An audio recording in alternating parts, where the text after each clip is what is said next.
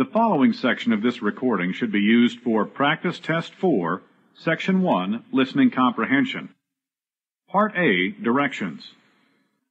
In Part A, you will hear short conversations between two speakers. At the end of each conversation, a third voice will ask a question about what was said. The question will be spoken just one time. After you hear a conversation and a question about it, read the four possible answers and decide which one would be the best answer to the question you have heard. Then on your answer sheet, find the number of the problem and mark your answer.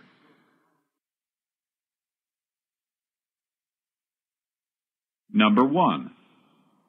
You're so late. I thought you'd never get here. My car broke down on the highway and I had to walk.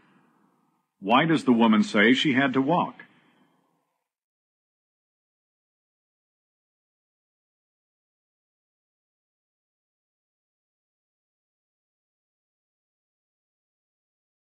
Number two.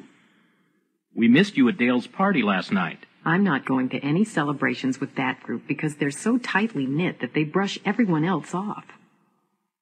Why does the woman say she didn't attend Dale's party?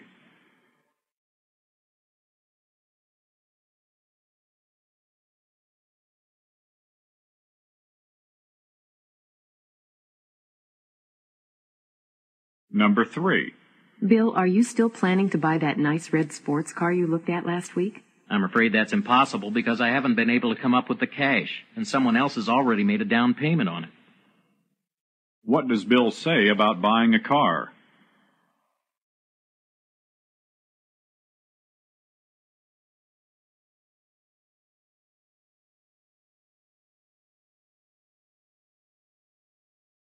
Number four. Gail is supposed to be here at the meeting tonight. Where is she? She came down with the flu and had to stay home. Why does the woman say Gail didn't attend the meeting?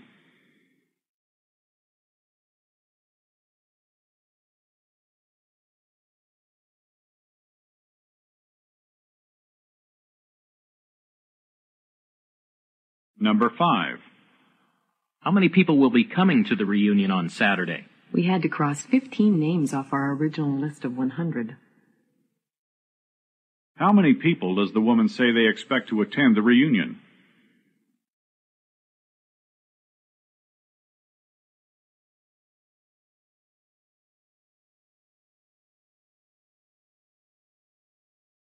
Number six. You look happy this morning. I just came from my advisor's office and found out that the college board has done away with the foreign language requirement for graduation. What does the man mean?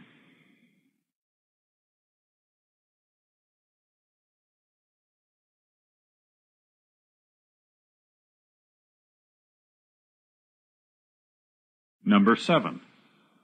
I hear that Rusty's car is being repossessed by the finance company. Yes, he's fallen behind on the payments. What does the woman mean?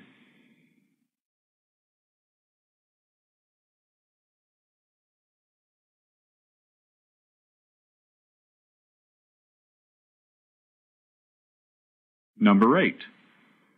What did you do in class today? The teacher went over last Friday's lesson. What does the man say the teacher did in class?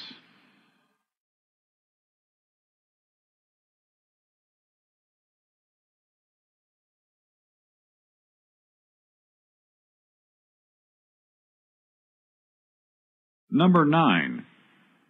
Not getting that job was a big letdown. Don't worry, something better will come along. What are the speakers talking about?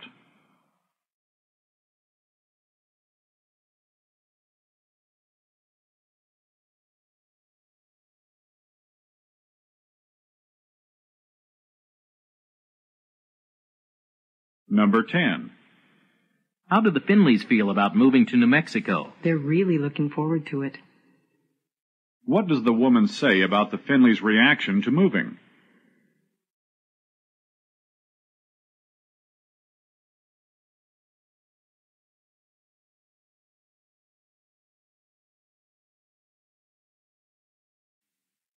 Number 11. Where are you going in such a rush? I have to deposit my paycheck before the bank closes, or else I won't have any funds to pay these bills. What does the woman mean?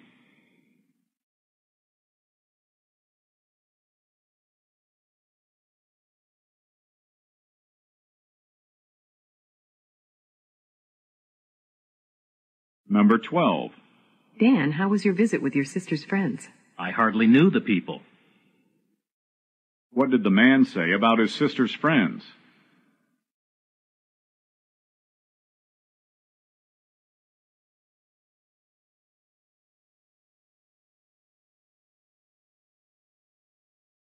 Number 13. You need to cut down on your sugar intake. I find it very hard to resist. What does the woman suggest the man do?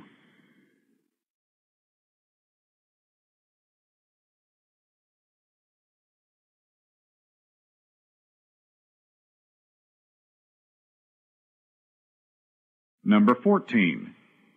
Was anyone seriously injured in the accident? It looks as if all the victims will pull through. What does the woman say about the victims of the accident?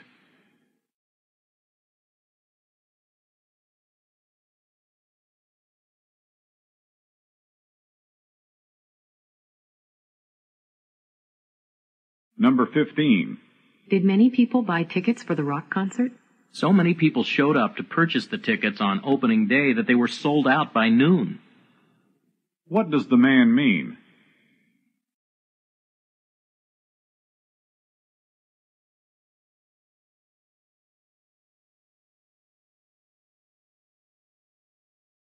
Number 16. Did Phil apply for the accounting position that was advertised in the paper? Despite his inexperience in the field, Phil applied for the job. What does the man say about Phil?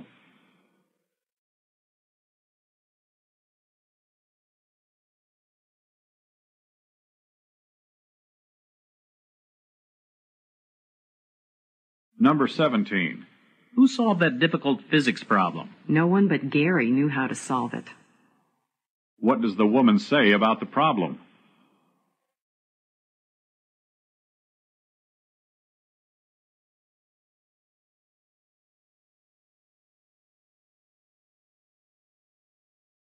Number 18. What sort of response did you get on your request for additional funding? The response to my initial request was gratifying. What does the woman mean?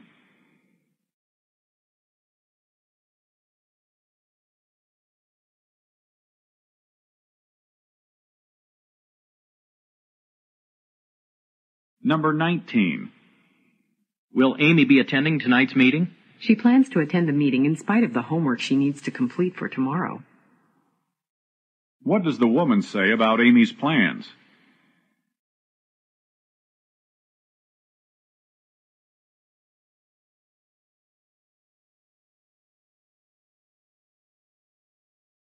Number 20. Are you going to wait for Gil? He would rather that I didn't wait for him, but I plan to anyway. What does the woman mean?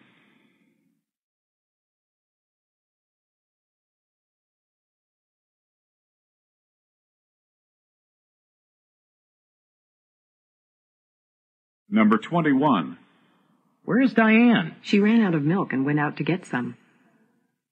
Where does the woman say that Diane is?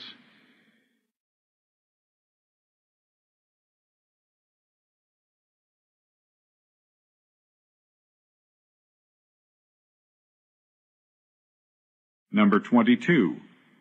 I want to go to the concert tonight, but it starts at 7, and I have to work until 5. There won't be enough time to go home for dinner. I've got an idea. I'll pick you up after work and we'll eat downtown. That'll give us plenty of time to get to the concert. If the speakers follow the man's suggestion, what will happen?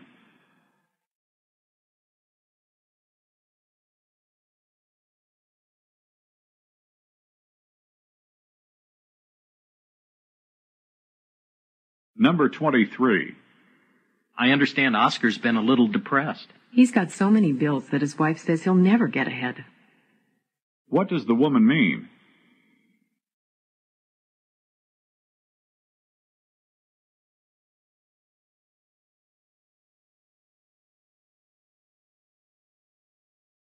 Number 24. Where are your keys? I can't find them, but I'm sure they'll show up soon. What does the man say about his keys?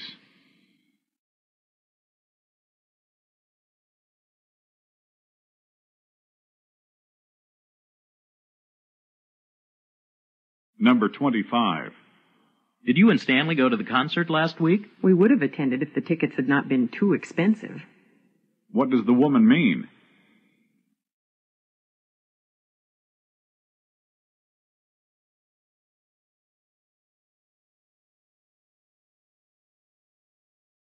Number 26.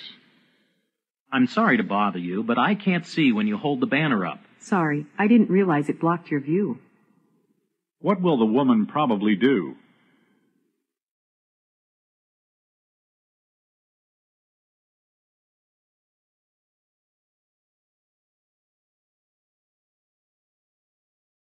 Number 27. I thought Melanie was going to wear that pretty red wool coat you bought her. She couldn't wear it because it made her break out in a rash. What do we learn from this conversation?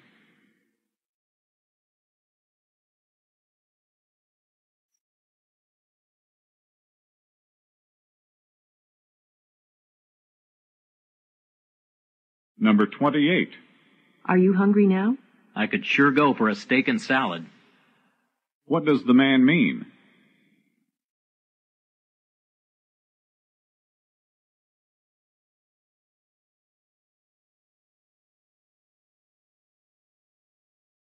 Number 29. Does Jeanette like football? She rarely misses a game. What does the man say about Jeanette?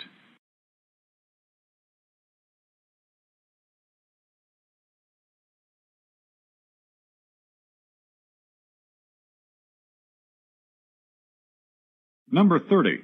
How is business? Our best agent hasn't sold a single policy this week. What does the man mean?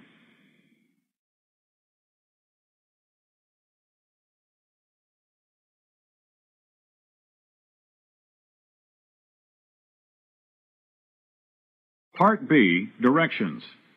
In Part B, you will hear longer conversations. After each conversation, you will be asked some questions. The conversations and questions will be spoken just one time. They will not be written out for you, so you will have to listen carefully in order to understand and remember what the speaker says. When you hear a question, read the four possible answers in your test book and decide which one would be the best answer to the question you have heard. Then on your answer sheet, find the number of the problem and fill in the space that corresponds to the letter of the answer you have chosen.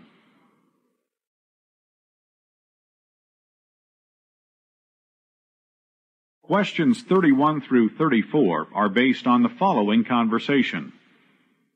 I can't believe it. Today I went shopping at the store near my house instead of my usual store, and the prices were fantastic. Is it one of those no frills stores? No, they just had some good sales, and the produce looked better than it has recently at my regular store. What kinds of things were on sale? I got a dozen large eggs for 85 cents, beer for $2.75, tuna fish for 99 cents, and bleach for 80 cents. I bought a lot of food for less than $50. Where is this store? I might try it too. It's the one on the corner of 16th Avenue and Main Street. Number 31. To what type of store did the man go?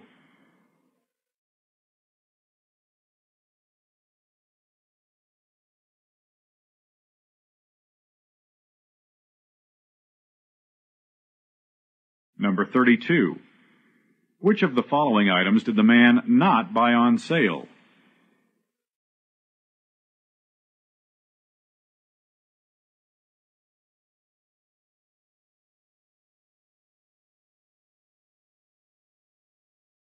Number 33. What was one advantage of this store over the man's regular store?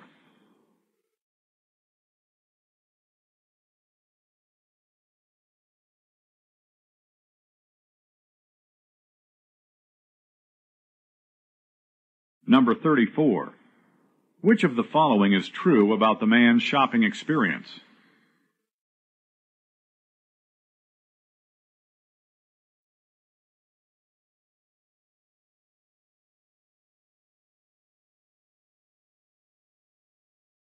Questions 35 through 38 are based on the following conversation.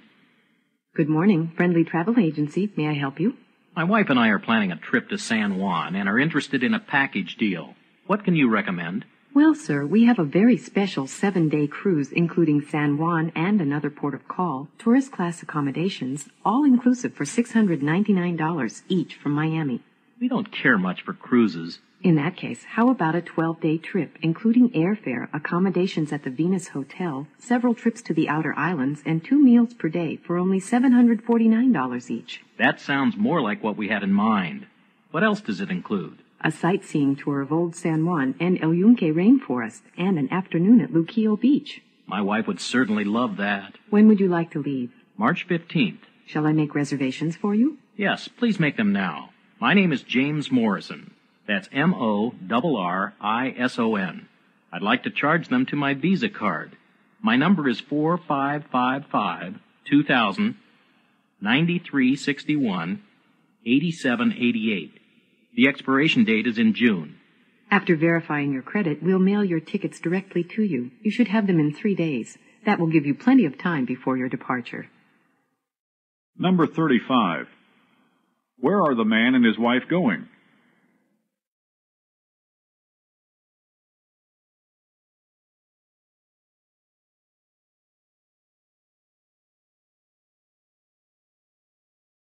Number 36. What is the man's name?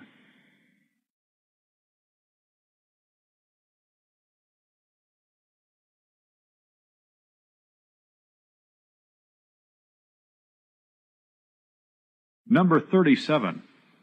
How does the man plan to pay for the trip?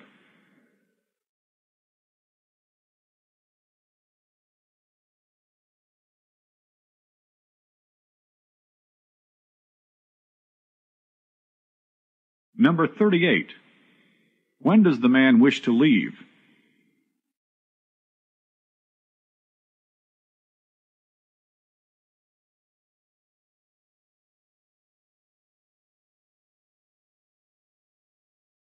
Part C, Directions. In Part C, you will hear several talks. After each talk, you will be asked some questions. The talks and questions will be spoken just one time. They will not be written out for you, so you will have to listen carefully in order to understand and remember what the speaker says. When you hear a question, read the four possible answers in your test book and decide which one would be the best answer to the question you have heard. Then on your answer sheet, find the number of the problem and fill in the space that corresponds to the letter of the answer you have chosen.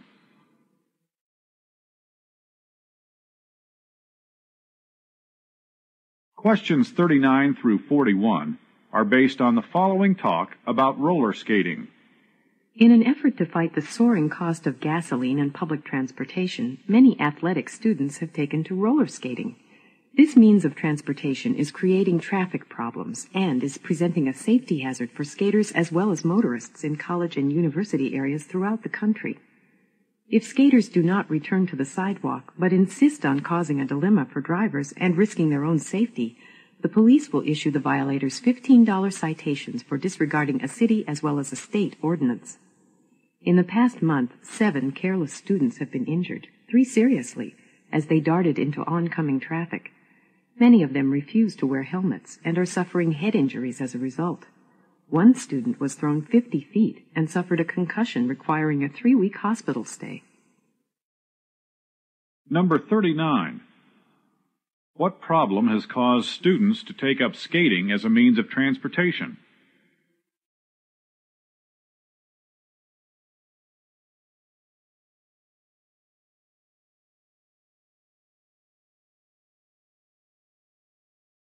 Number 40. What law forbids roller skating in the streets?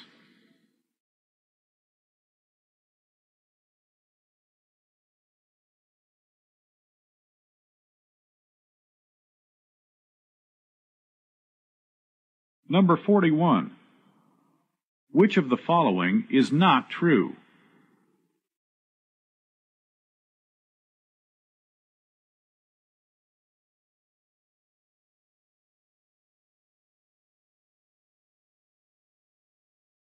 Questions 42 through 46 are based on the following talk about early life in North America. When the early settlers, especially the English, arrived in the New World, the hardships and dangers awaiting them were totally unexpected. Had it not been for some friendly Indians, the colonists never would have survived the terrible winters. They knew nothing about planting crops, hunting animals, building shelters, nor making clothing from animal skins. Life in England had been much simpler, and this new life was not like what the Spanish explorers had reported. The settlers introduced iron tools, muskets for hunting, domesticated animals, and political ways to the Indians. In exchange, the settlers learned to build canoes for water transportation and to use snowshoes and toboggans for winter traveling. The Indians taught them to blaze trails through the forest, to hunt large animals and trap smaller ones, and to spear fish in the lakes and streams. The natives also introduced to the settlers typical foods such as turkey, corn, squash, beans, and pumpkin. The early settlers did everything possible in order to make their new settlements resemble the homes they had left behind. Number 42. Which of the following did the new settlers teach the Indians?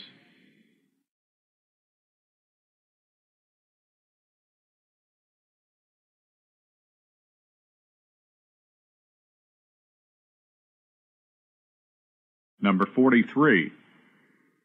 What does the speaker imply about corn, squash, and pumpkin?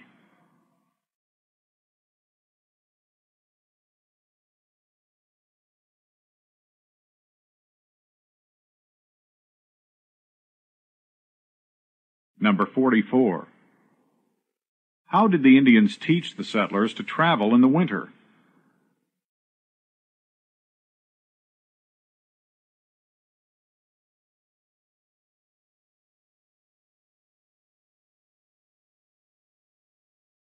Number 45. Which of the following was not introduced to the settlers by the Indians?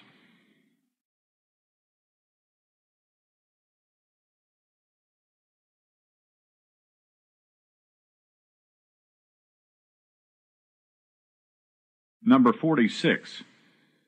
Which of the following is not true?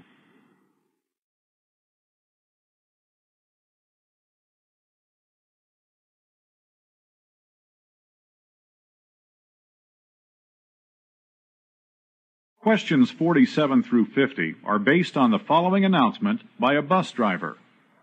Welcome aboard the luxury cruise bus to Dallas, Baton Rouge, and Atlanta. We are scheduled to arrive in Dallas at 1:45 this afternoon. There will be a 15-minute rest stop at that time. We will have a 30-minute dinner stop in Baton Rouge at 6:45 for those of you who are continuing on to Atlanta.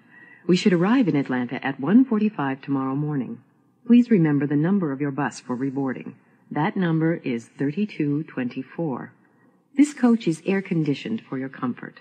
Please remember that smoking of cigarettes is permitted only in the last six rows, and the smoking of any other material is prohibited, as is the drinking of alcoholic beverages. Thank you for traveling with us. Have a pleasant trip. Number 47. At what time and in what city will the passengers have a 15 minute rest stop?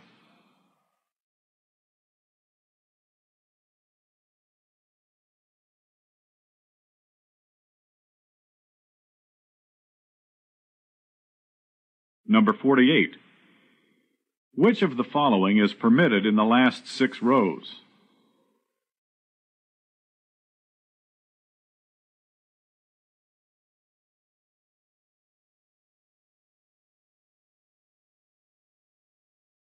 Number 49. What is the number of the bus?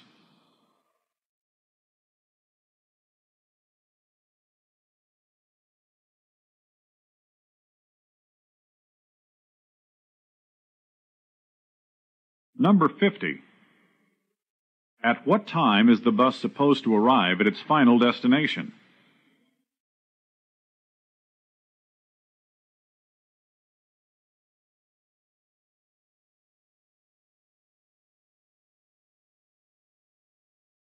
This is the end of the Practice Test 4 Listening Comprehension section.